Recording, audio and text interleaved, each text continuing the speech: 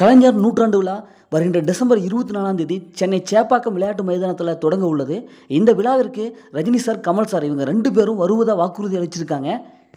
இந்த விழாவிற்கு சினி இருக்கிற ஏகப்பட்ட பேருக்கு அழைப்பு விடுவிச்சிருக்காங்க.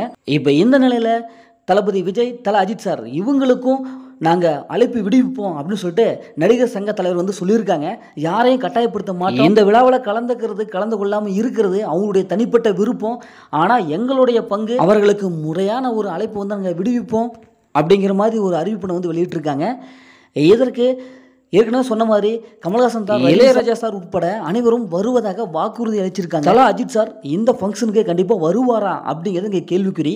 ஏற்கனவே விடாமுயற்சி படத்தில் தலா அஜித் சார் ரொம்ப ஸ்பீடாக இருக்காரு.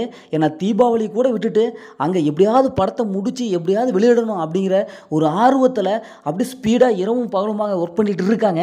இந்த சூழ்நிலை தலா அஜித் சார் இந்த ஃபங்க்ஷனில் கலந்து கொள்ளுவாரா இல்லை கலந்து கொள்ள மாட்டாரா அப்படிங்கிறதா இங்கே கேள்விக்குறியாக இருக்குது இதே மாதிரி ஒரு ஃபங்க்ஷனில் கலைஞர் நூற்றாண்டு விழாவில் தலை அஜித் சாருக்கு ஒரு கசப்பான ஒரு அனுபவம் ஏற்பட்டது. அது என்னன்னா எங்களை கட்டாயப்படுத்தி இது மாதிரியான ஃபங்க்ஷனுக்கெல்லாம் வரவழைக்கிறாங்க. எங்களுக்கு கண்டிப்பாக அரசியல் வேண்டாம். எங்களை நடிக்க விடுங்க அப்படின்ட்டு அந்த கூட்டத்தில் பேசியிருப்பார். இந்த பேச்சுக்கு ஆதரவாக சூப்பர் ஸ்டார் ரஜினி சார் எழுந்திருச்சு நின்று அப்படியே கை இந்த பேச்சுக்கு ஆதரவு தெரிவிச்சிருப்பாரு.